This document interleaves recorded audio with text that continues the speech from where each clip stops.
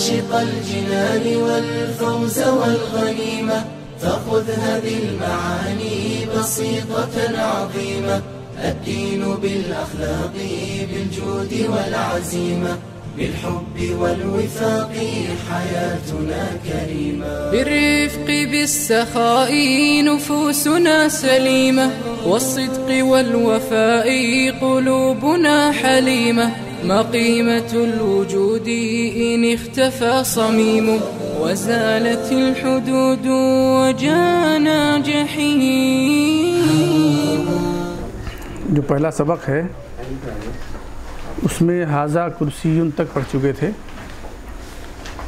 और इसके अलावा भी जो ज़िमनन कुछ बातें आई थी तो उन बातों से मुतालिक या जो किताब में पढ़ चुके थे, इससे मुतालिक अगर कोई बात किसी को पूछनी हो तो वो पहले पूछ लें उसको हल कर लेते हैं, फिर आगे बढ़ते हैं।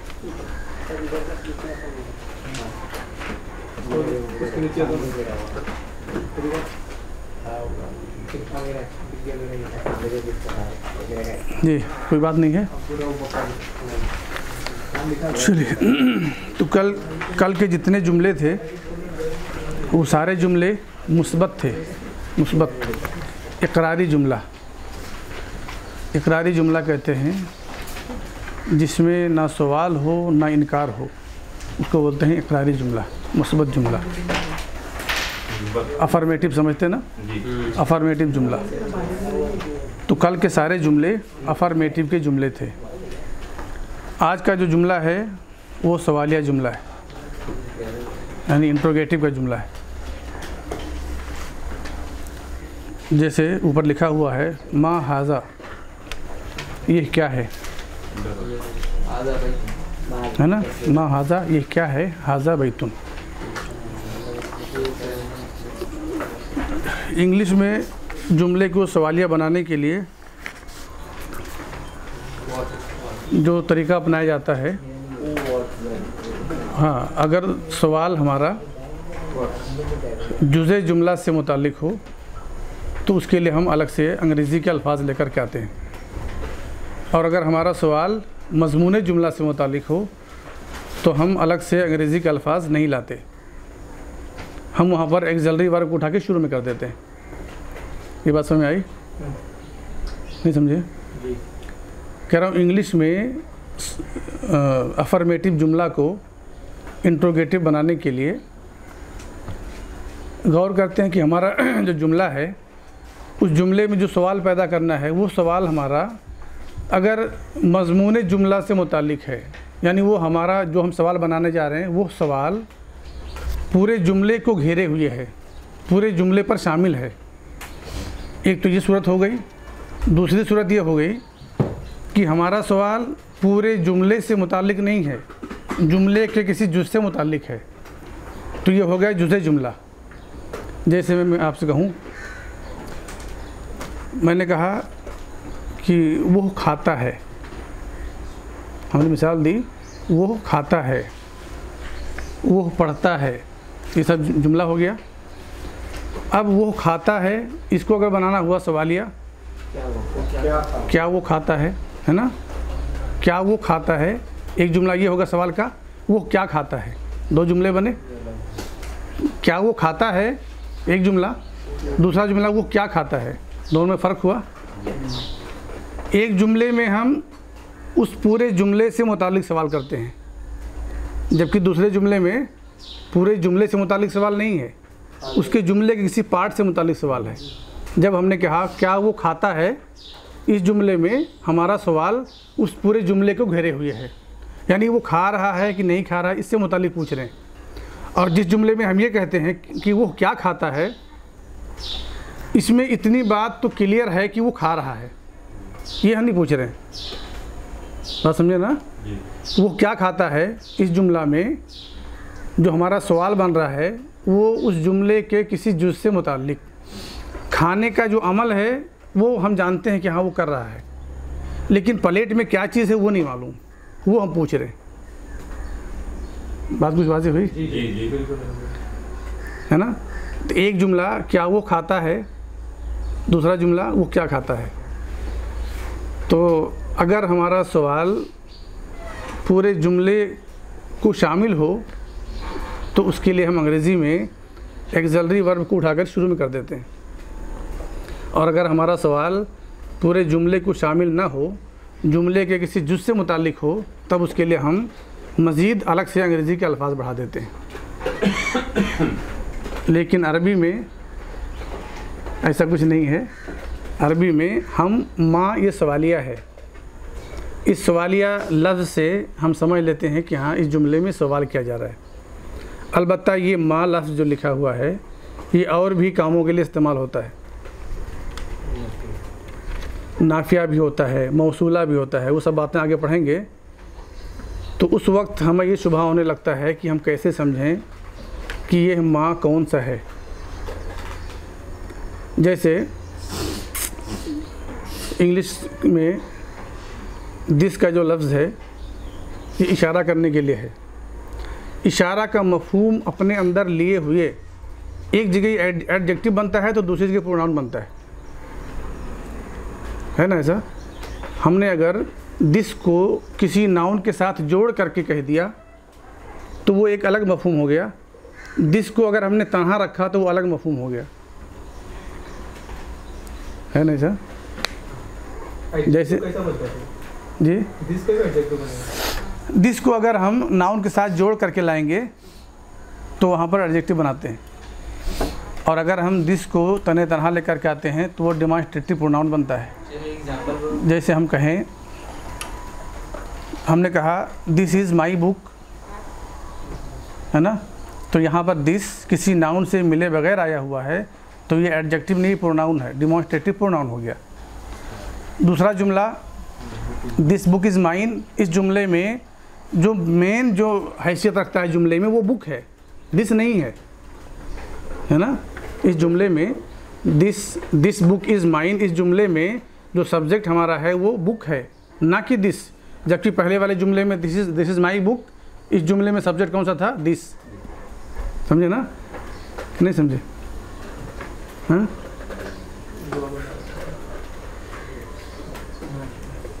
मैंने कहा कि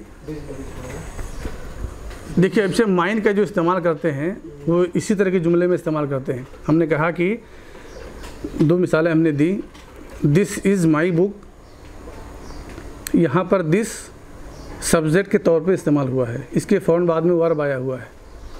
तो यहाँ पर दिस हो गया डिमॉन्स्ट्रेटिव प्रोनाउन और अगर हमने इस दिस को नाउन के साथ जोड़ करके इस्तेमाल किया तो अब ये इस जुमले में मेन जो सब्जेक्ट है, वो कौन सा है? बुक है, ना कि दिस है। तो हमने कहा दिस बुक इज़ माइन और दिस इज़ माई बुक दोनों जुमले में फ़र्क है। मफहूम तकरीबन तकरीबन दोनों के मिलते हैं। सेम नहीं कह सकते, मिलते हैं, है ना? मिलते हैं। लेकिन दोनों जुमलों में दिस का जो मकाम है, वो अलग अलग है। वही कैफियत यहाँ पर हाजा की है। हाजा को अगर हम तने तनहा इस्तेमाल करते हैं तो वह जुमले का कोई अहम जुज बनता है कि जिसके बगैर हमारा जुमला नाकिस हाँ निकाल दें तो हमारा जुमला नाकिस हो जाए। लेकिन इस हाजा को अगर हम मिला के बोलते हैं तो हाजा की कोई अहमियत नहीं रह जाती सवाई इशारा करने के। अब बात समझ आई आपको? तो कहते हैं कि जब हमारा सवाल अगर मजमून जुमला से मुतल रहे तो वहाँ पर हम एक्जली वर्ग को उठा करके शुरू में करते हैं। और अगर हमारा सवाल जुज़ जुमला से मुतल रहे तो वहाँ पर हम एक्जली वर्ब को उठा के शुरू में करते हैं, प्लस मफहूम का एतबार करते हुए हम सवाल करने वाले अल्फाज को भी शुरू में लेकर के आते हैं। जैसे दो मिसालें भी आपके सामने आई कि मैंने कहा कि क्या वो पढ़ता है, क्या वो खाता है? एक जुमला ये हो गया वो क्या खाता है? दूसरा जुमला हो गया। तो यहाँ पर दो दो बातों से मुतल सवाल है। क्या वो खाता है? यहाँ पर उसके खाने और ना खाने से मुतालिक पूछा जा रहा है। और वो क्या खाता है? यहाँ पर खाने के अमल से मुतालिक सवाल नहीं है। ये हमको पता है सवाल करने वाले को पता है कि, जिसके बारे में मैं पूछ रहा हूँ वो खा रहा है। लेकिन क्या खा रहा है वो नहीं मालूम। तब हमने पूछा कि वो क्या खाता है। तो अरबी में हाँ सवाल करने के लिए हम माँ को इस्तेमाल करते हैं। एक बात मैंने उसके ज़िम्मे में बताई। दूसरी बात हमने बताई कि जैसे दिस को हम नाउन के साथ में इस्तेमाल करते हैं तो वो डिमॉन्स्ट्रेटिव प्रोनाउन एडजेक्टिव बन जाता है। और अगर हम दिस को तने तनहा इस्तेमाल जोड़ के इस्तेमाल करते हैं नाउन से तो डिमॉन्स्ट्रेटिव एडजेक्टिव बन जाता है। फिर उसकी अहमियत मुब्तदा की बन जाती है सब्जेक्ट की बन जाती है। अब अगर मैं कहूँ, हाजा बैतुन जदीदुन, ये एक नया घर है। हाजा बैतुन जदीदुन, ये एक नया घर है। और अगर मैं हाजा को बैत से जोड़ करके कह दूँ तो मैं इस तरह से कहूँगा, हाजल बैतु जदीदुन। अब यहाँ पर तर्जमा हो गया, ये घर नया है।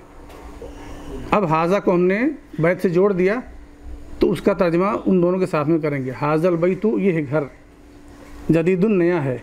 और जब हमने कहा, हाजा बैतुन जदीदुन तो हम कहेंगे, ये है, एक नया घर है। बात कुछ वाजह हुई? एक जगह खबर दी जा रही, सिर्फ़ नया होने की और एक जगह खबर दी जा रही नया घर होने की। हमने कहा हाजा बैतुन जदीदुन। तो गोया हमने कहा ये है एक नया घर है। नया घर होने की खबर दे रहे हैं हम।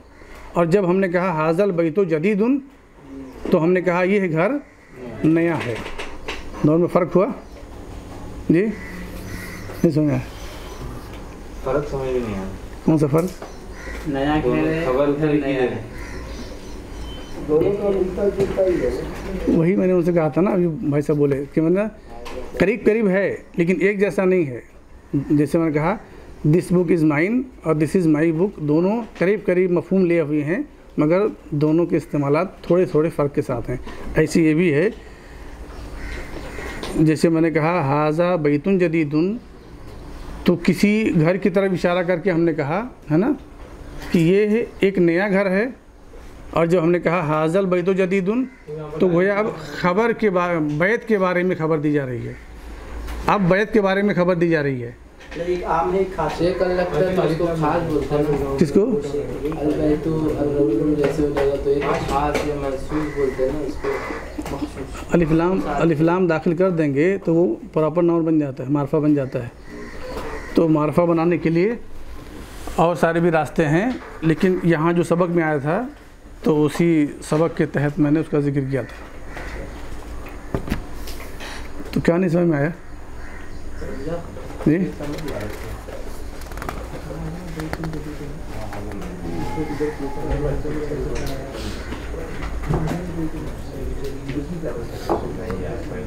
थोड़ा फ़र्क है।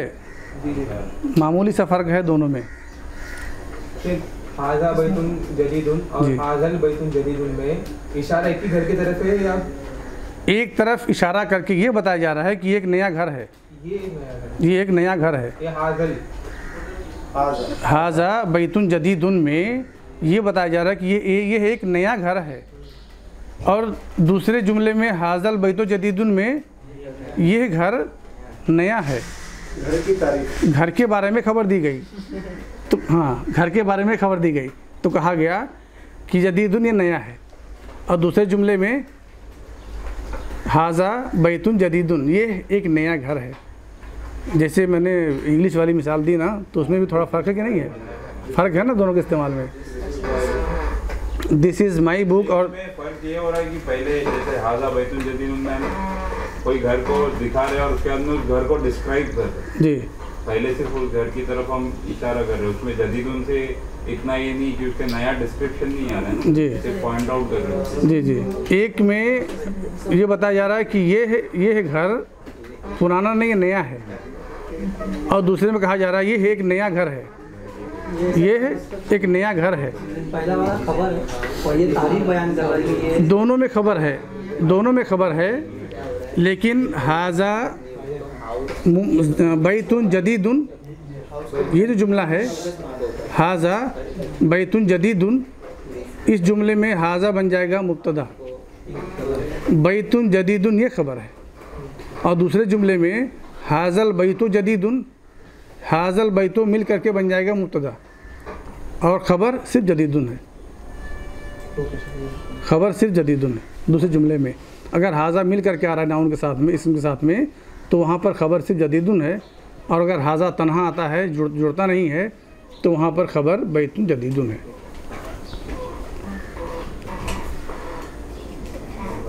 कुछ इश्काल है भी?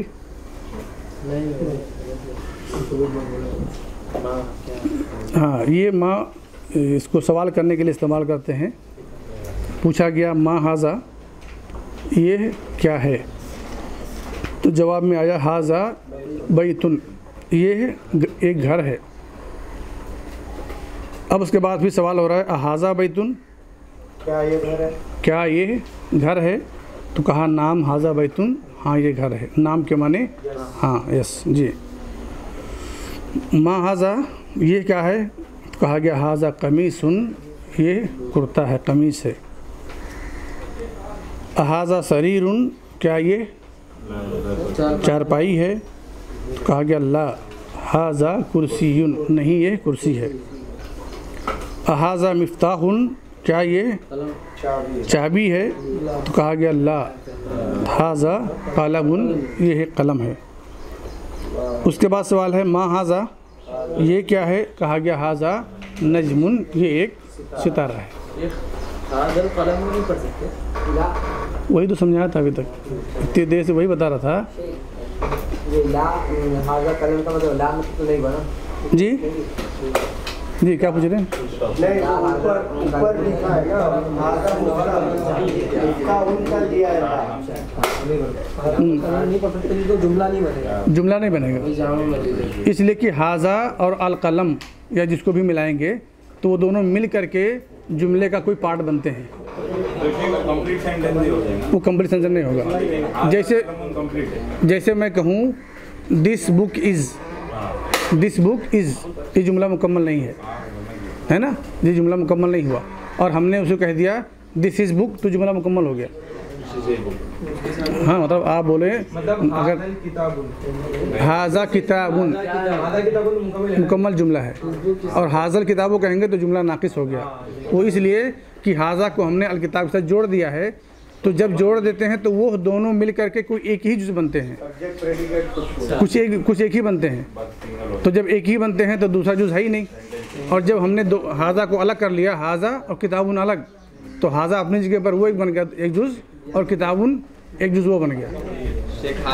मतलब सब्जेक्ट के बारे में कुछ इन्फॉर्मेशन देना है तो हाजल आएगा अगर कोई खबर बाद में है तो इसको हम मिला सकते हैं। हमने कहा हाजल किताबु जदीदुन। अगर खबर नहीं है सिर्फ़ ये खबर देना है कि ये किताब है तो हाजल किताबुन। जो ही हम मिला देंगे हाजल किताबु जुमला नाकिस हो गया। मैंने वही मिसाल दी ना? दिस बुक की मिसाल। दिस को बुक से जोड़ दिया गया अगर दिस दिस की अहमियत ख़त्म हो गई, दिस का काम सिर्फ़ इतना है कि वो इशारा कर रहा है। जुमले का वो कोई साझेदार नहीं है। जुमले का कोई अहम पार्ट नहीं है दिस बुक। दिस बुक में दिस जुमले का कोई अहम जुज नहीं है। लेकिन जैसे ही दिस और बुक में हमने फासला कर दिया, हमने कहा, this is a book. Book और दिस में फासला हो गया तो दिस दिस तने तनहा जुमले का एक पार्ट बन गया, वो हो गया सब्जेक्ट। शेख हाजा बैतुल ये घर है। जी। और हाजल रात क्या पढ़ेंगे हाजल बैतू हाजल बैतू इनकम्प्लीट है तो बंदा पढ़ेंगे पढ़ेंगे हाजल बैतू उर्दू में ये घर? ये घर। उर्दू में ये घर? इनकम्प्लीट जुमला है। ये है घर। ये है घर। उर्दू में तर्जमा करेंगे हाजल बैतू का ये है घर। है नहीं आएगा। जब जुमला मुकम्मल होगा तब है आएगा। जुमला मुकम्मल नहीं है तो है नहीं आएगा। इस्तेमाल हुआ सवालिया के लिए। कहाँ पे? सवालिया के लिए इस्तेमाल हुआ है माँ। जी। अलीफ जो इस्तेमाल हुआ है। क्या क्या? जी। अहादा में जो अलीफ इस्तेमाल हाँ हमजा जी जी। हाँ हमजा भी इस्तेमाल करते हैं माँ भी इस्तेमाल करते हैं और हल भी इस्तेमाल करते हैं। माँ सवालिया माँ के माने क्या?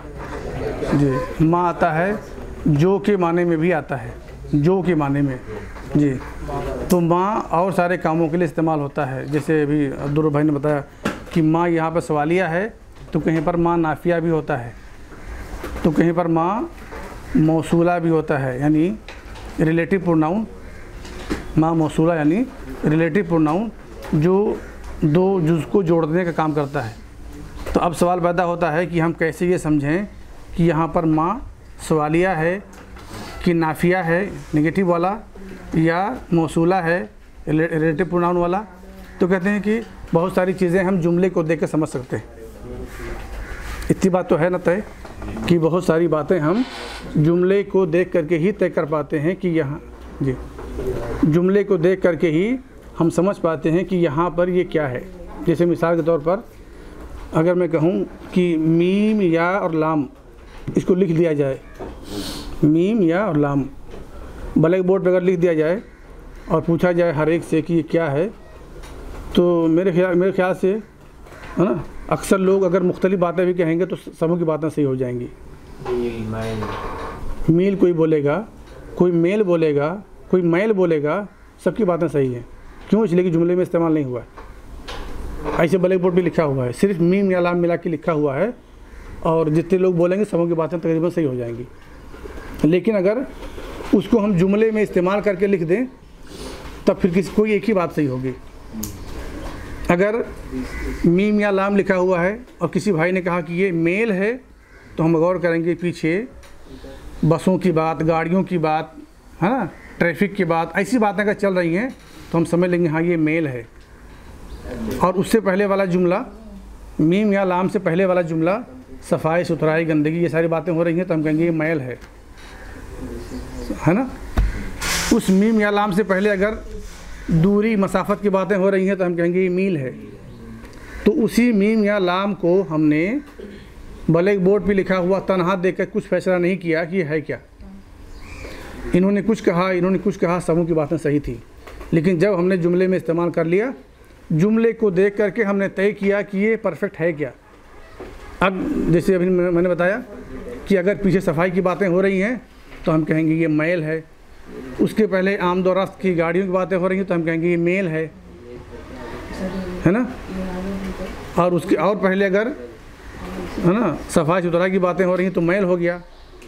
मसाफत की बातें, दूरी की बातें हो रही हैं तो ये तो ये मील हो गया। तो जब हम जुमले में उसको इस्तेमाल करेंगे, तब हम समझ सकते हैं कि ये परफेक्ट में है क्या। तो ऐसे ही माँ का मामला या इस जैसे बहुत सारे अल्फाज आपको देखने को मिलेंगे कि तने तनहा अगर वो आएँगे तो हम एकदम सही बात नहीं बता सकते हैं जब तक कि हम जुमले में उसका इस्तेमाल ना देख लें। और अगर कोई पूछे इस तरह से तो उसका सवाल भी तकरीबन समझो नाकिस ही रहता है। जैसे कोई पूछे, नाउन की कितनी किस्में हैं? तो हम कहेंगे, भाई, आपका सवाल अधूरा है। कोई पूछे, नाउन की कितनी किस्में हैं? तो हम कहेंगे, आपका सवाल ही अधूरा है। आप अगर अपना सवाल क्लियर करेंगे तो हम जवाब दे सकते हैं।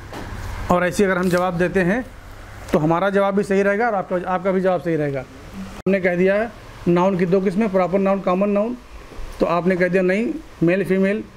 तो किसी ने और कुछ कह दिया कि सबकी बातें सही हो गई। जो तो नौीयत बदलने से, एतबार बदलने से किस्में बदल जाती हैं। सिंगुलर और प्लूरल भी नाउन की किस्मों में से हैं। तो जब हमने नौीयत बता दी इस लिहाज से, नाउन की किस्म बताइए इस लिहाज से, तब सही बात सामने आ सकती है। जब हमने कहा कि नाउन की किस्म बताइए, नंबर के अतबार से तो हम कहेंगे सिंगुलर और प्लूरल एकदम पक्की बात वही है। और अगर किसी ने कहा कि नाउन की किस्म बताइए जेंडर के अतबार से तो उसकी फिर दूसरी किस्म हो गई। तो जब तक हम लिहाज नहीं बताएँगे नौीयत वाजे नहीं करेंगे, तब तक सवाल करने वाले का सवाल अधूरा है। तो पता चला कि हाँ जुमले में हम देखेंगे इस्तेमाल को तो उसके इस्तेमाल को देख करके हम फैसला कर सकते हैं कि यहाँ पर ये माँ कैसा है। तो अब तक की बातें समझ में आई? या कुछ इसकाल बाकी है?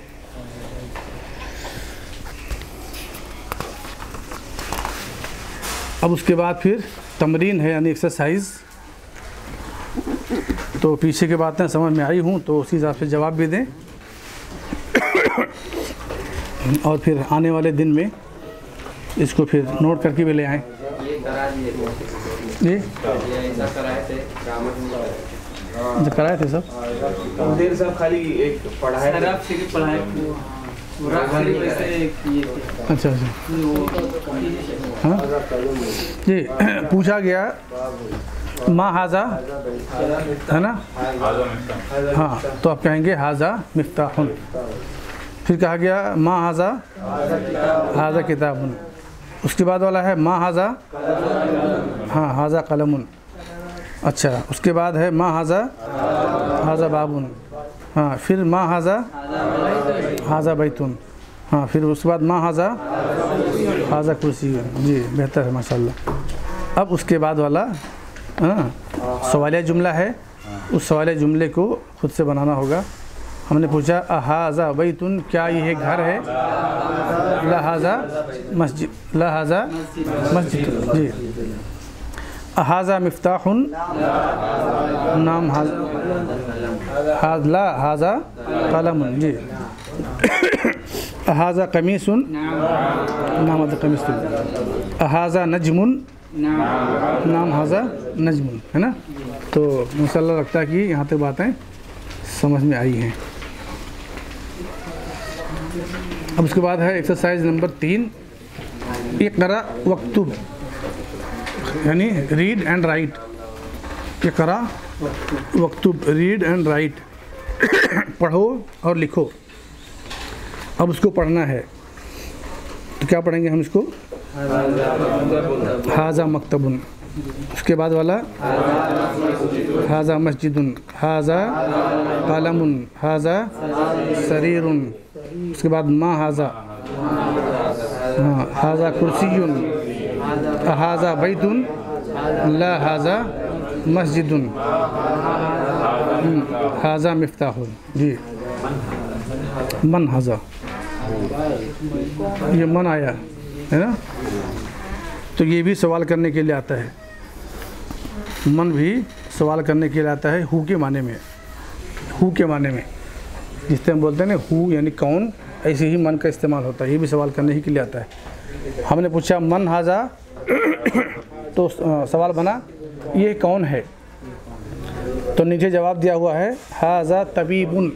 ये एक डॉक्टर है। मन हाजा ये कौन है? हाजा वलदुन, ये एक लड़का है। मन हाजा, ये कौन है? हाजा तालिबुन, ये एक तालब इल्म है। हाजा रजुलुन, क्या ये लड़का है? जवाब आया, ला हाजा रजुलुन। हाजा वलदुन, ला हाजा रजुल। जी। तो अब यहाँ तक तीन तमरीन मुकम्मल हो गई है। तीन तीन तमरीन तक अगर कोई बात हो तो पूछ लें। कोई बात नहीं है। चलिए तो एक पेज और पढ़ लेते हैं उसके बाद फिर कुछ कवायद के बारे में भी। एक मन जो सवाल है ये इंसानों के साथ खास है ना तकरीबन ख़ास है। जी।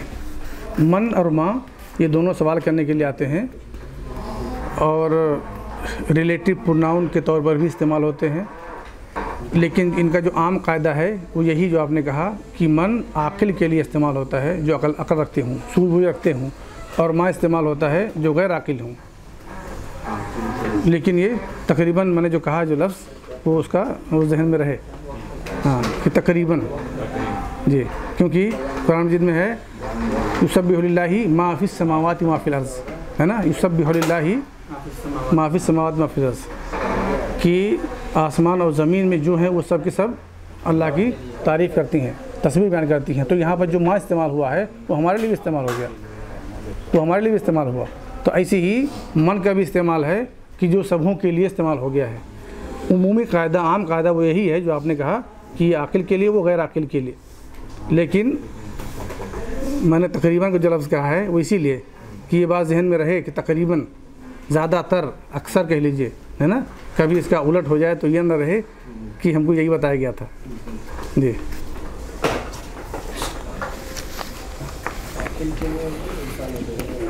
जो भी अक्ल रखते हूँ, जो भी सूझबूझ रखते हूँ। अच्छा तो अब चलते हैं दूसरा सफ़ा। माँ हाजा हाजा मस्जिदुन। जी, मन हाजा हाजा ताजिरुन। मफहूम माना समझ में आता है ना? ताजिरुन के माने ताजिर। जी। हाँ हाजा कल्बुन, ये एक कुत्ता है। हाजा कल्बुन, क्या ये कुत्ता है? तो कहा गया, ला हाजा तुन ये एक बिल्ला है। जी। हाजा हिमारुन, ये है गधा है। कितुन माने बिल्ला। बिल्ला बिल्ला बिल्ला। कितुन के माने बिल्ली। जी।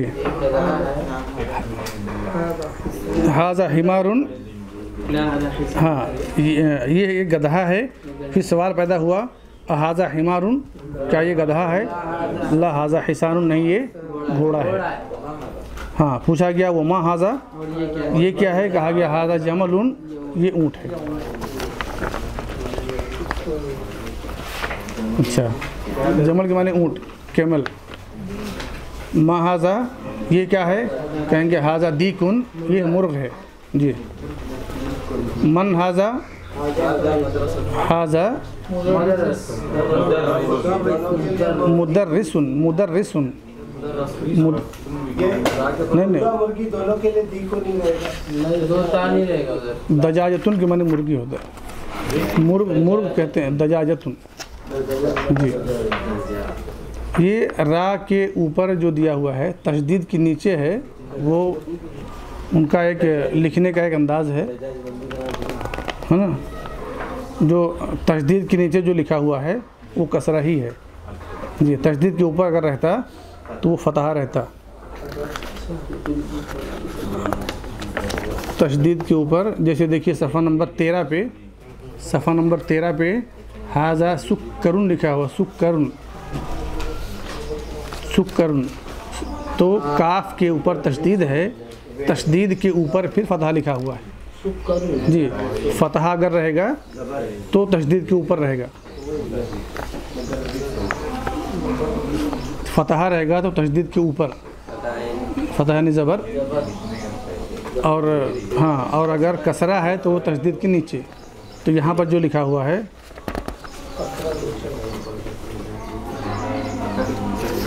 हाँ ये जो लिखा हुआ है हाजा मुदर रसुन नहीं है मुदर रिसुन है। मुदर रिस ये मुदरिस यानी टीचर जी। हाजा कमीसुन क्या ये कमीस है? कहा गया ला हाजा रुमाल। जी जी रुमाल। अब उसके बाद फिर एक तमरीन है। इकरा वक्तुब यानी पढ़ो और इसको लिखो। माँ हाजा, ये क्या है? हाजा। जी, क्या आपने कहा? माँ हाजा, ये क्या है?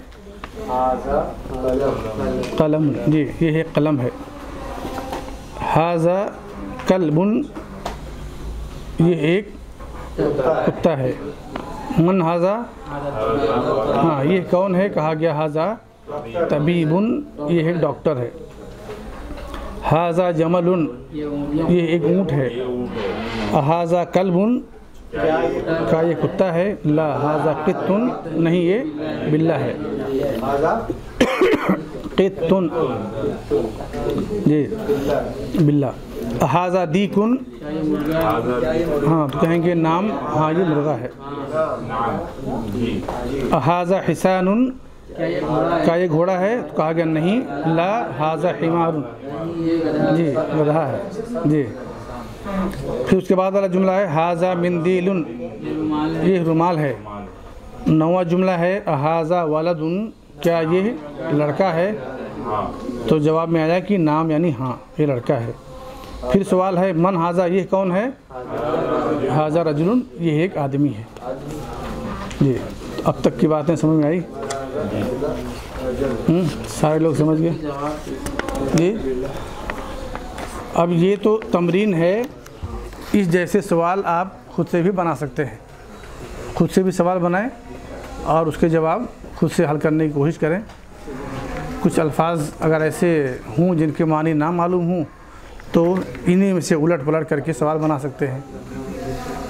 जैसे यहाँ पर सवाल किया गया कि अहाजा हैसानुन तो हैसान के बजाय और कर लीजिए। है ना? जो जो अल्फाज आ चुके हैं, आप लोग पढ़ चुके हैं, उन्हीं में से चुन करके आप अपने तौर से भी सवाल बना सकते हैं।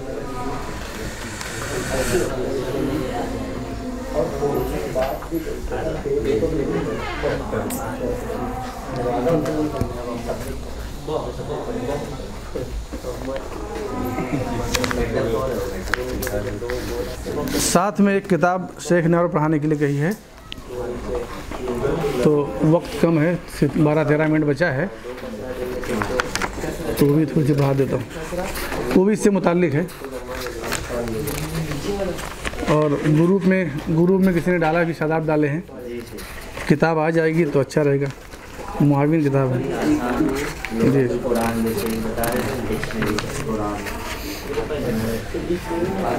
कुछ बातें तो तकरीबन कल आ चुकी थी। है अरबी ज़ुबान की बाज़ ज़रूरी इस्तिलाहात। यानी नंबर एक में दिया है, हरकत किसे कहते हैं? हरकत किसे कहते हैं? हाँ तो वही दिया है, ज़बर, ज़ेर और पेश को हरकत कहते हैं। फिर उसकी वजाहत की गई है, अरबी में ज़ेर को जर, कसरा जर को कसरा, ज़बर को फतहा या नस्ब और पेश को रफ़ या ज़म्मा कहते हैं। हुँ? अगर ज़ेर है तो कसरा या जर। और अगर पेश है तो ज़म्मा या रफ़। और अगर ज़बर है तो फतहा या नस बोलते हैं। जी जी, दो दो दो दो नाम उसके हैं। जिन जिन नाउन पर, जिन इसमों पर यह हरकतें आती हैं, उनको हम बोलते हैं मुतहर्रिक। मुतहर्रिक, यानी हरकत दिया हुआ। मजरूर कहते हैं वो हर्फ जिसके नीचे ज़ेर या जर हो, उसे मजरूर कहते हैं। मजरूर जिसके नीचे ज़ेर हो, है ना, कसरा हो, उसको हम मजरूर कहते हैं। हरकत, ज़बर, ज़ेर, पेश को हरकत कहते हैं। अलबत्ता जो मैंने कल बात बताई थी वो इससे थोड़ा हट करके है। वो इसमें है नहीं। वो आप बाद में पढ़ेंगे दूसरी किताबों में। इन्होंने आधी बात इसमें लिखी है। यानी हरकत मैंने बताया था कल कि हरकत की दो किस्में हैं। सिर्फ़ ज़बर ज़ेर पेश को हरकत नहीं कहते हैं। एक हरकत है हरकती एराब और एक है हरफी एराब तो यहाँ पर इन्होंने सिर्फ़ हरकती एराब का ज़िक्र किया है। तो मुतहरिक कहते हैं जिस पर हरकत हो उसको मुतहरिक कहते हैं।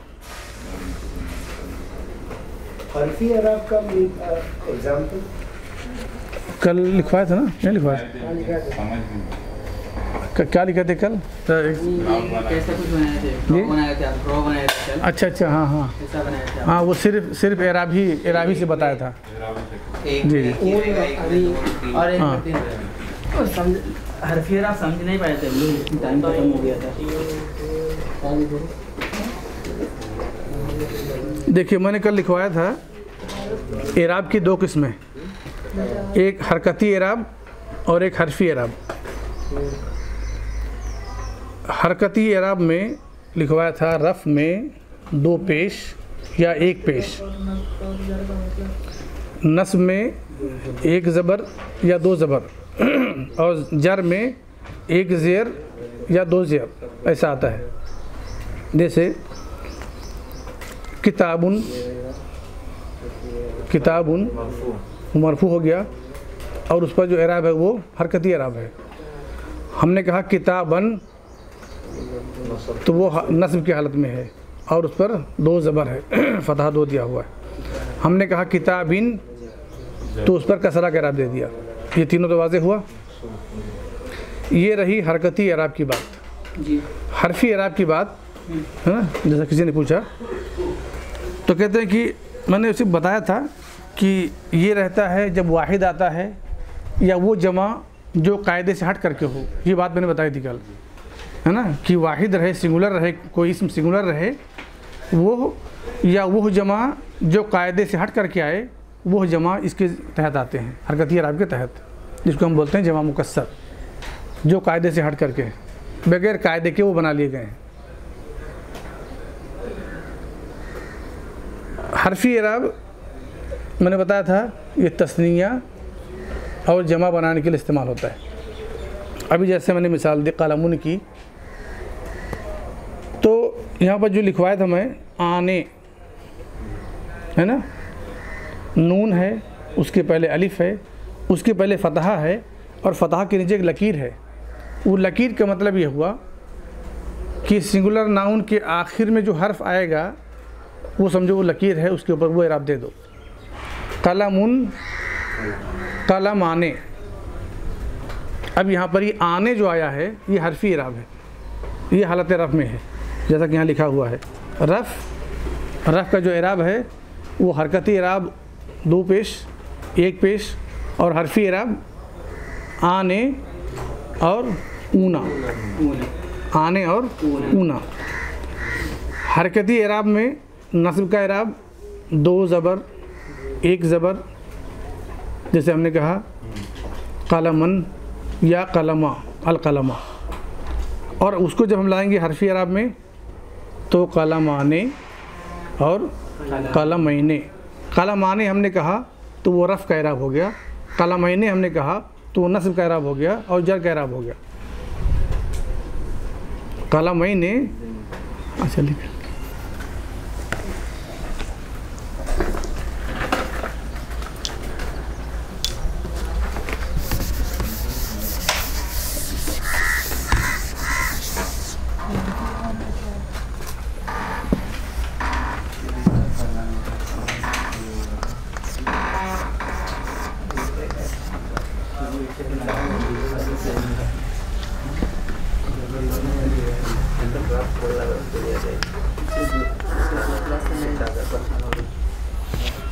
हरकती इराब के तहत वाहिद आते हैं।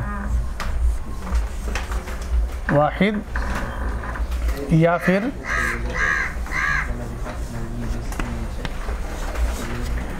या फिर जमा मुकस्सर, ये आते हैं हरकती इराब के तहत। हरफी इराब के तहत तस्निया या जमा आते हैं। यहाँ पर भी जमा है, यहाँ पर भी जमा है। लेकिन वो जमा, ये जमा मुकसर है, जो कायदे से हट करके बनाया जाता हो। कायदे से हट करके बनाया जाता हो, वो वो जमा मुकसर है। और यहाँ पर वो जमा है, जो रूल के मुताबिक बनाई जाए। जमा बनाने का तरीका, इंग्लिश में आप लोग पढ़े होंगे ना, कि आखिर में एस या ई एस लगा दो। एस लगाएँगे कब, ई एस लगाएँगे कब कभी ऐसा भी होता है कि आखिर में कुछ हरूफ बदल देते हैं, एफ़ या एफ़ ई हो तो उसको ऐसा कर देते हैं, वाई हो तो ऐसा कर, सब पढ़ चुके होंगे ना? तो बहरहाल वो रूल के तहत आ गए। ऐसा है तो ऐसा करना है। तो वो इसमें आते हैं। ये वाला, ये जमा बनाने के लिए हमारे पास कोई कायदा नहीं है। जैसा कि इंग्लिश में भी हम पढ़ चुके हैं कि कुछ जमा आते हैं जो रूल से हट के होते हैं, वो हमको रेडीमेड मिलते हैं। हम बना नहीं सकते उनको। ऐसे ही ये जमा है अहले अरब से हमने उसको ऐसे ही पाया है। उसको ऐसे ही पाया है। जैसे जमा बनाने के लिए बताया गया है अरबी कायदे में कि वाव और नून बढ़ा दो, ये जमा बन गया। जैसे मुस्लिमुन है, इसमें हम बढ़ा देंगे, इसको तो बन गया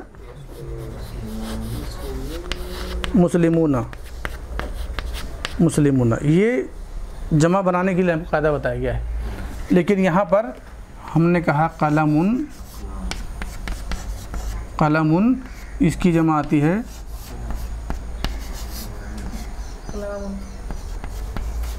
अकलामुन, ये जमा बनाने के लिए कोई कायदा नहीं है हमारे पास। ये जमा अहले अरब जैसे इस्तेमाल करते हैं, हमने सुना है, वैसे इसको हम भी इस्तेमाल करते हैं। ये बनाने का तरीका बताया गया है इसको हम ऐसा बना लेते हैं। मुस्लिम से मुस्लिमों हमने बना लिया। वो जमा जो हमको रेडीमेड मिलता हो, बग़ैर कायदे के आता हो, उसको हम बोलते हैं जमा मुकसर उसमें वाहिद की सूरत, इसमें क्या है? मीम, सीन, लाम, मीम। इसमें मीम, सीन, लाम, मीम। वाहिद की सूरत को बाकी रखते हुए आखिर में हमने ऊना बढ़ा दिया। तो ये जमा बन गया। इसमें वाहिद की सूरत बाकी नहीं बची। वाहिद की तरतीब क्या है? काफ, लाम, मीम। यहाँ पर काफ, लाम के बाद एक अलिफ का इजाफा हो गया। तो इसको बोलते हैं जमा मुकसर यानी वह जमा जिसमें वाहिद की सूरत टूटी हुई हो। जमा मुकसर वह जमा जिसमें वाहिद की सूरत टूटी हुई हो, बिखरी हुई हो, मुंतशिर हो, इधर उधर हो। इतनी बात समझ आई ना? इस जमा में काफ, लाम, मीम तरतीब है। जमा जब बनाएँगे तो काफ लाम के बाद एक एक हर्फ का यहाँ पर इजाफा हो गया। यानी तरतीब बाकी नहीं बची। इस जमा में मीम, सीन, लाम, मीम, मुस्लिम, इसको बाकी रखते हुए हमने आखिर में ऊना बढ़ा दिया, जमा बन गया। मुस्लिमूना मीम, सीन, लाम, मीम की तरतीब अपनी जगह पर बाकी है और हमने ऊना बढ़ा दिया, जमा बन गया। इसको हम बोलते हैं जमा सालिम। यानी वो जमा जिसमें वाहिद की सूरत सही सालिम हो। जिसमें वाहिद की सूरत सही सालिम हो उसको बोलते हैं जमा सालिम। और वह जमा जिसमें वाहिद की सूरत सही सालिम ना हो टूटी फूटी हो उसको बोलते हैं जमा मुकस्सर। एक मोटे सानिया ज़िक्र और अस्कार भी जमा मुकस्सर की तस्निया हाँ। जी जी। वो हरूफ की जो तरतीब है वो तरतीब अगर बिखर गई तो समझ जाए कि वो जमा मुकसर है। और वो वो जमा इसके तहत आएगा हरकती अरब के तहत में आएगा। और वो जमा जिसको बनाने के लिए कायदा बताया गया हो कायदे की रोशनी में वो बना हो तो वो जमा सालिम है और वो हरफी अरब के तहत में आएगा। पूरी शक्ल भी बदल सकती है हाँ पूरी शक्ल भी नहीं वो तो रेडीमेड मिला हमको। हाँ, तो वो रेडीमेड मिला। जो हमको रेडीमेड मिलता है वो उसके तहत गया और जो हम खुद बना सकते हैं वो इसके तहत में आता है हरफी के तहत में आता है। मिटा दूँ?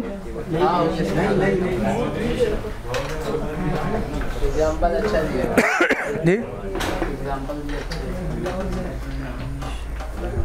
पहला क्या है? जमा सालिम से पहले क्या है हरफिया कलम अल कलम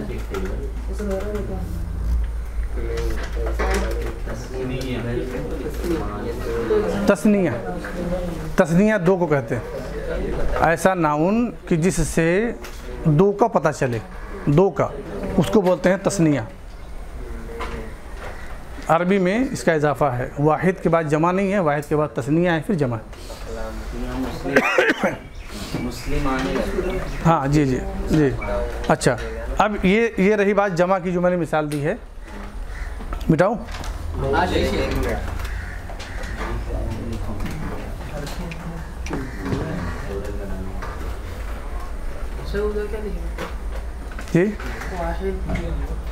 क्या लिखा ये जमा मुकस्सर है। जमा और ये ये इधर हो गया, ये अलग हो गया। ये जमा सालिम। जी। अच्छा बुक भी है ऐसी पतली में। हाँ बुक आती है ना?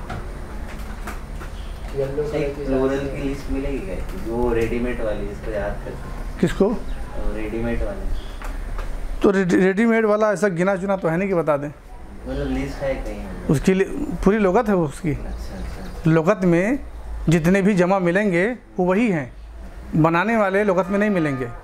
मोटी मोटी जो लगत है ना उसमें जितने भी जमा मिलेंगे, वो यही मिलेंगे।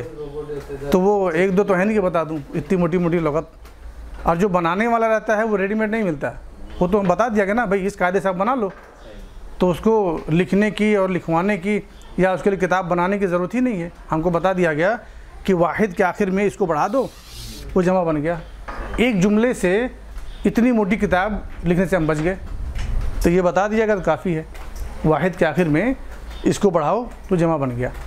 और इसको चूँकि रेड, रेडीमेड मिलता है ये तो इसके लिए लिखने की ज़रूरत पड़ी तो लोगों ने लिखी है मोटी मोटी लुगात मौजूद हैं।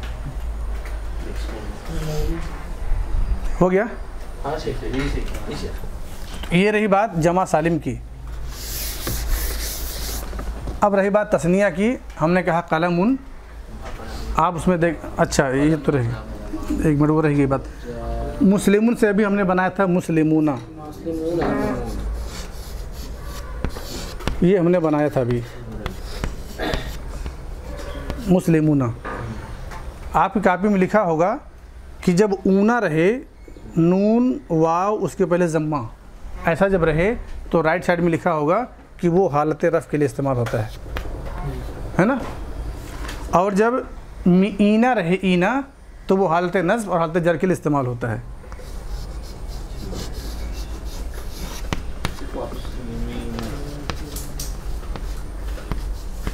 मुस्लिमीना, ये हालत नस्ब और हालत जर दोनों के लिए इस्तेमाल होता है।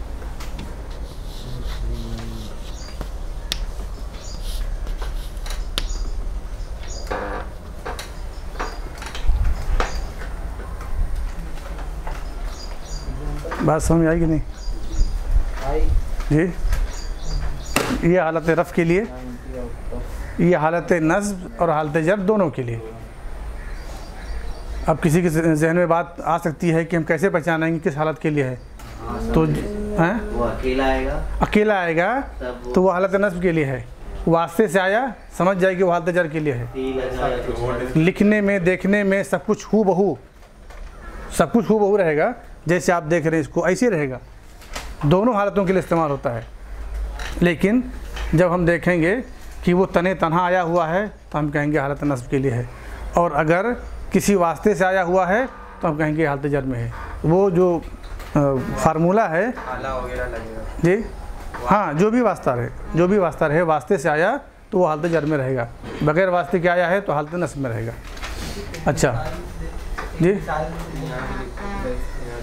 इसकी मिसाल? जी? अब जैसे अब जैसे कल मैंने बताया था ना जईदुन जाहिबुन, गदन,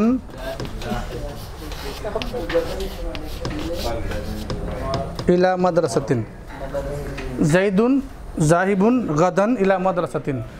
जैदुन और जाहिबुन, ये जुमले के ज़रूरी पार्ट हैं। एक हो गया सब्जेक्ट, दूसरा होगा प्रिडिकेट। इनके बगैर जुमला मुकम्मल नहीं हो सकता है। इन दोनों में से किसी एक को निकाल करके उसके बदले में 25-50 सफ़ात लिख दिए जाएँ तो भी जुमला नाकिस है। पता चला कि इनका रहना ज़रूरी है तो ये हालत रफ़ में हो गए। अब उसके बाद, जब हालत रफ़ वाले हमको मिल गए उनके बाद जितने भी नाउन आएँगे, गोया वो हालत रफ़ में अब नहीं हो सकते। क्योंकि रफ़ में जितने हमको रिक्वायर्ड थे वो तो मिल चुके। आगे जितने आने वाले हैं वो हालत रफ़ में नहीं होंगे। उसके अलावा या तो हालत नस्ब में या तो हालत जर में होंगे। अब जितने भी आगे आ रहे हैं, उनके बारे में हम यही गौर करते चलेंगे। क्या ये वास्ते से है? कसरा दे दो। वास्ते से नहीं है, फतहा दे दो। आगे चले, वास्ते से है, कसरा दो। जितना वास्ते से मिले, वास्ते से कसरा देते हुए चले जाए वास्ते से नहीं है तो फतहा दे दें। यहाँ चले आगे हम तो देख रहे हैं कि गदन का लफ्ज़ है, बगैर वास्ते के है, हमने फतहा दे दिया। आगे चले, मदरसा का लफ्ज़ है, यहाँ पर फतहा देने जा रहे थे, इतने में नज़र पड़ी कि भाई यहाँ पर तो इला है। तो हम कहेंगे, नहीं, फतहा नहीं रहेगा, ये कसरा रहेगा। तो ऐसे ही ये भी है, अगर वास्ते से आता है तो कसरा, यानी हालत हालत जर में समझ लीजिए, और अगर बगैर वास्ते के है तो उसको हालत नस में समझ ले। मिटाऊँ?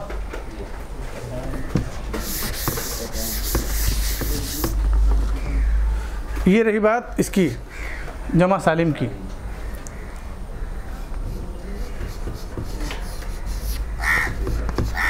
मुस्लिम ये है। कापी में आपके लिखा होगा, आने बढ़ा देंगे तो ये हालत रफ़ के लिए हो गया।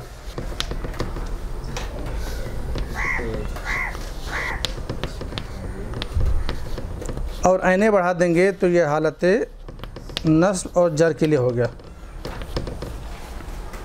अब हमने कहा, मुस्लिमुन से मुस्लिमाने तो ये हालत रफ़ में। मुस्लिमैने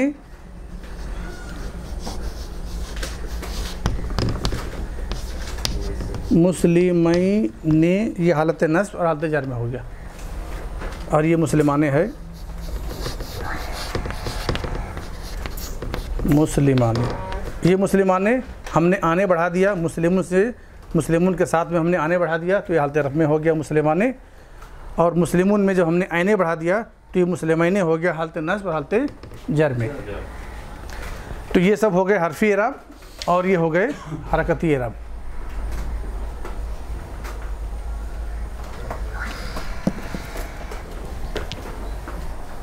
बात समझ में आई कुछ? जी।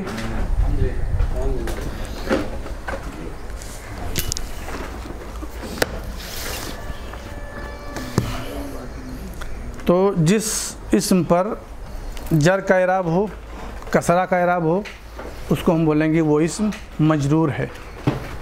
और जिस पर फतह का इराब हो, उसको बोलेंगे मफतू है। ज़म्मा का इराब हो तो वो मजमूम कहलाएगा। जिस पर फतहा का इराब हो तो वो मफतूह ज़म्मा का इराब हो तो वो मज़मूम और मज मीम ज़ाद मीम वाव मीम मज़मूम। और अगर कसरा का इराब हो तो वो मजरूर कहलाएगा। अब गोया हम कह सकते हैं कि ये मरफू है। रफ़ का इराब इस पर दोनों पर है। ये ये मुसलिमान किस हालत में है? किस हालत में है? ये रफ नहीं है। तो है। हाँ जी जी। ये मुसलिमान की हालत रफ़ में है। इसीलिए सवाल पूछे थे। जी। इसीलिए टेबल बनाए थे बराबर। हाँ कि कि आने पर ही रफ हाँ वो किसी ने असल में बार बार पूछा है ना? किसी ने बार बार वो सवाल किया। हालाँकि वो बात अभी नहीं बताता लेकिन अब सवाल हो रहा था तो मैंने कहा वो टेबल बना के बता दूँ कि एराब सिर्फ़ उन अन इन का नाम नहीं है है ना? एराब हरकती भी होते हैं, हरफी भी होते हैं। इसी पर ये बात आई थी। तो ये दो ज़बर दो पेश का होना, ये अलामत है रफ रफ में होने का। ये हालत रफ में है। लेकिन सिर्फ़ इसी का हो, यही सिर्फ़ अलामत है, ऐसी बात नहीं है।